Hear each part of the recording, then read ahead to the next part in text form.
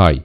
Simple strategies are often disregarded because we naturally tend to believe more in complex models. So today I will present to you a very simple method following only two rules that would compete with complex trading systems and it gives positive returns. The advantage of simple rules is that they can be automated for algorithmic trading so we can easily write our strategy in Python, backtest it on different currencies just to make sure that it's really profitable you can either use it manually if you prefer to do so, but also it's a good candidate for automated trading. And I will also explain the main challenges and the different parameters that we will need to make the best out of this. So if we consider this example, we're going to use the first indicator, which is the 200 moving average curve. So if the candles are above the curve, we are in an uptrend and we are looking for a buying position. And of course, you can apply it in the opposite direction where if you have candlesticks below the moving average curve and you are looking for a selling position. So in this example, we are in a buying position and to choose the entry point, we are going to check where the price is dropping below the few candles that are preceding our current candle. For example, if this is our current candle, this is the lower value of the current candle, we're going to look back to the previous candles that are just before this candle of interest or our present candle and we're going to look for the lower values of these candles. If the low value of our current candle is below all these values, then in this case, we have identified our entry point or our buying position point. Now, obviously, just like any other strategy, even though this is a simple strategy, it has its own challenges. And the first parameter is which length shall we use for the moving average? Is it 200, is it 100, or is it something different?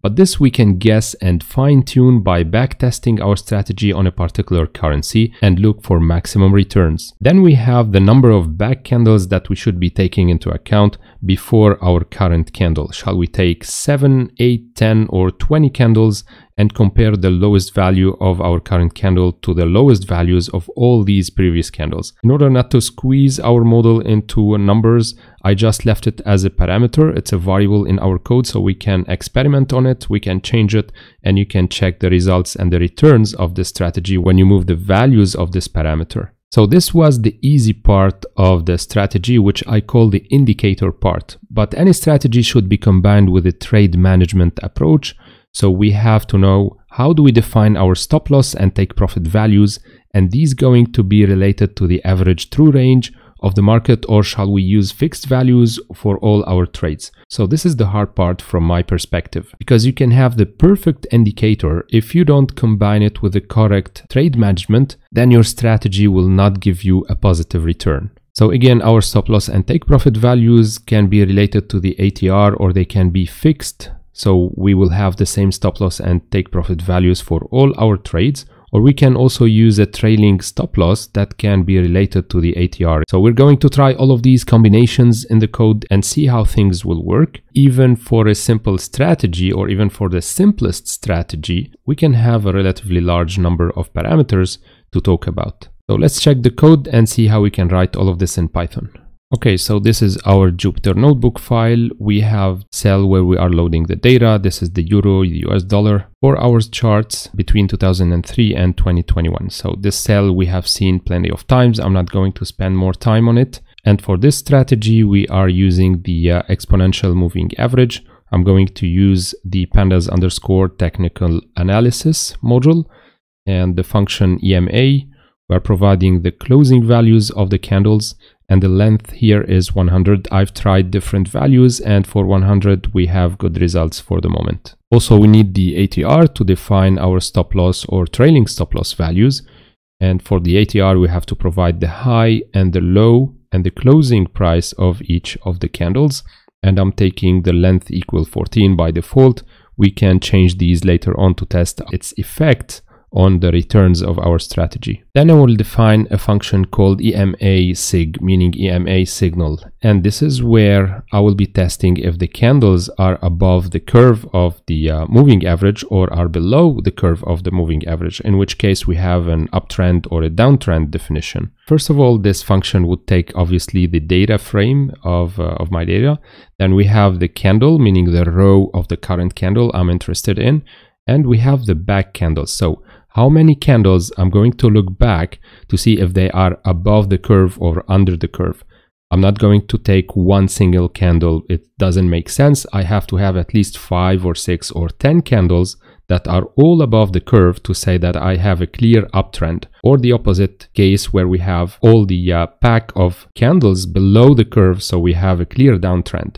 So this is again a parameter that we can change and check its effect on our strategy. And this is how we can use this function. I'm calling EMA signal function. I'm providing the data frame as a parameter the row of the candle I'm interested in and the number of candles to take into account and check if they are above the curve or below the curve to define whether we have an uptrend or a downtrend. For an uptrend, we are returning number two as a signal. For a downtrend, we return number one. And if we don't have any clear trend, we simply return zero. At this point, I would like to uh, plot my data with the uh, exponential moving average and check how it is going so everything is working properly just to make sure that we haven't made any mistakes so far in our code. At this point we can start using our uh, function EMA signal. So I'm defining the um, EMA back candles. So I'm taking 40 candles. If I have 40 candles above the EMA curve, so in this case, I would have an uptrend. And if I have 40 candles that are below the curve of the moving average, then we can say that we have a downtrend. For each candle in my data frame, we're calling this function, providing the data frame, the row number, and the number of EMA back candles, which is 40 in this case. Now you might argue 40 is too much. We can start with 20 or 10. You are right. Actually, it's simply a number that I threw in the code and let's see what it gives. And at this stage, our data frame looks something like this. So we have the time, the open, high, low, and close price. We have the volume, the EMA, that is now a column of our data frame, the ATR that we are going to use later on, and we have the EMA signal. So when we have signal 1, it means we have a downtrend, meaning all the preceding 40 candles for all of these candles are below the EMA curve. We can try different curves also, different candles. So let's take this part and go for different values. Let's plot, for example, 300 and up to um, 350 candles. And we still have a downtrend. Let's look for something else. Let's go 100 up to 150. And here we have an uptrend because we have number two as a signal or what we call the EMA signal, the moving average signal. So that was our first parameter in this strategy. We still have one parameter which is which defines the entry point where we can look for a buying position or where we can look for a selling position. And for this, we will need something called high-low back candles. So I call this parameter or this variable like this. We're going to consider eight candles preceding the current candle or the candle of interest. We're going to add a new column to our data frame. It's the minimums called DF minimums. To check for the current candle or for each row, the minimum value among the eight candles preceding the, um, the current candle or the current row and I'm taking the lowest values for each candle. So in other words, we're checking the minimum among the lowest values for each candle preceding uh, this particular candle or this particular row. And we are considering eight back candles. This will be the minimums column. Then the same thing for the maximums considering the highest values for each candle. Then we can define a new function called HL or high-low signal function it will check the uh, previous signal, the EMA signal. Is it a 1? So in case we have a downtrend, and we are going to test if the high, meaning the highest value of the current candle, is greater than the higher maximum value among the candles preceding this particular candle. In other words, does it tip above? And in a downtrend, this is the definition of an entry point for a selling position. In the opposite case, when we have an uptrend, we're going to check if the low of the current candle is below all the minimums of the eight previous candles. This is where we have an entry signal for a buying position, in which case we return 2. Otherwise, if we, are, if we have no entry point for a sell or a buy position, we simply return 0. So this will be our final signal. Why? Because it uses both the previous EMA signal that we have already included on, in our data frame, and it also considers the second parameter that we have talked about when we explained this strategy. We're going to apply this function to our data frame. So we have a signal value for each row, for each candle, and then we can print the candles where we have only a signal one just to uh, check it out. It's always better to verify things visually. It's clearer for me to uh, check on the graphs. And here we can see that we have a downtrend and the signals identified by our algorithm are represented by these uh, four purple points. So these four candles here represent a selling signal since we are in a downtrend.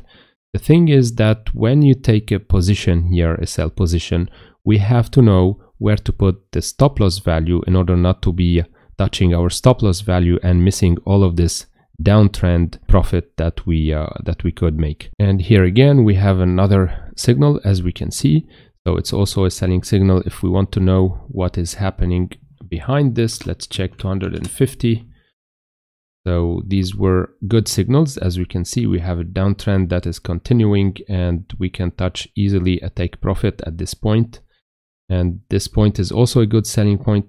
So in other words, it works very well for most of the trend time, but then when we have a trend reversal, it might not be as good as we think because we have a break of the trend, we have a reversal, and this should be identified by any trader if you are following uh, an algorithmic trading strategy and you are taking the decisions at the end, meaning it's not an automated bot, but rather the trader is checking this signal and uh, the signal is there to support the trader but then the final decision is always left for the trader so at this point, we know our signals are working correctly and we can start testing our strategy using these signals. So I'm going to define the function called signal, which calls the HL signal column from the data frame. And so in this strategy, if the signal is equal to 2, I'm going to look for a buying position. If the signal is equal to 1, I'm going to look for a selling position. In this particular strategy, we are using a trailing stop loss that takes into account the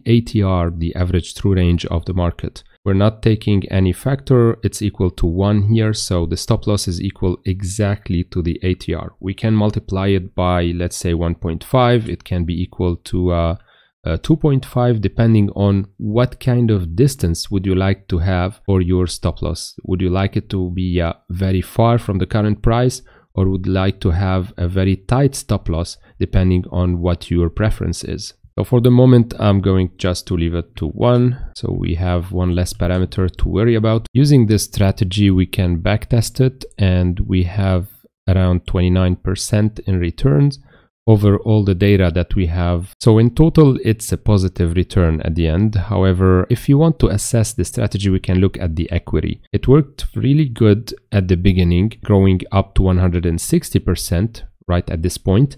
But then something happened and we started losing not as much as we have won, but it didn't work throughout all the time of the data frame.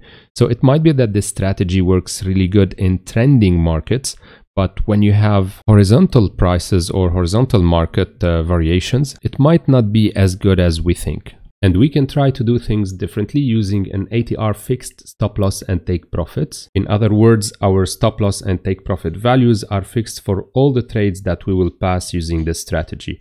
Now, how to define the stop loss distance and the take profit distances? We're going to use two different ratios. The first one is ATR underscore factor, let's say, it's 1.5 so we're going to uh, fix the stop loss for the buying positions as the current closing price minus the ATR value divided by this factor. So in other words if I have for example factor equal 2 here it means that we're taking a stop loss distance that is equal to the ATR divided by 2 if you want to keep it as is meaning ATR factor is equal to 1, it means that the stop loss distance will be exactly equal to the ATR value without any modifications. And then the take profit is related to the stop loss distance using the stop loss take profit ratio, which is this factor here.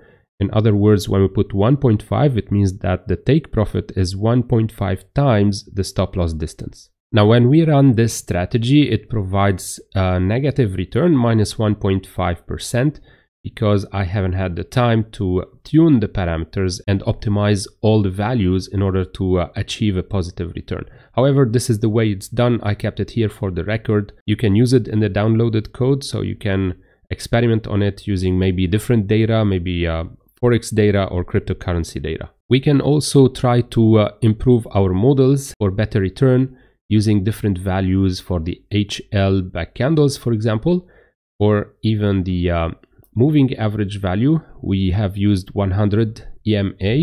You can prefer, for example, using 200 or 150, depending on which currency or which cryptocurrency you are trading with. Also, another important parameter that we uh, will not have the time to uh, optimize during this video is the EMA back candle. So I've started with 40, I tried also 30. Something that you should know is when you decrease this parameter's value, your model becomes more sensitive. You will have more trades simply because it's easier to find a lower number of back candles above or under a certain curve. So when we increase this to 50, the situation becomes harder to find because you have to find 50 candles all above or all under the curve to define a certain trend. So that's all I had to tell you about this strategy. I hope you guys liked it. I hope you found the information helpful. As usual, you can find a link in the description of the video where you can download the code. It's a Jupyter notebook file. You can experiment and change the parameters. In the meantime, please don't forget to leave a like, drop a comment if you feel for. Safe trading and see you next time.